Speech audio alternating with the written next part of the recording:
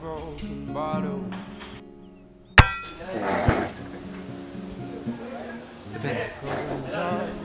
Well, my deadlift technique can be poor sometimes. Oh, if I'm in a competition, Oh, yeah. I, I, I'm sure I could come up with arguments as Yeah. to um, reasoning to have that eye closed if it, if it means to get a bit more effort, perhaps. But for the most part, you want pretty good form. That's very. Yeah. So what, what's wrong with your deadlift? How, how much can you deadlift without it? 280, I think, is my.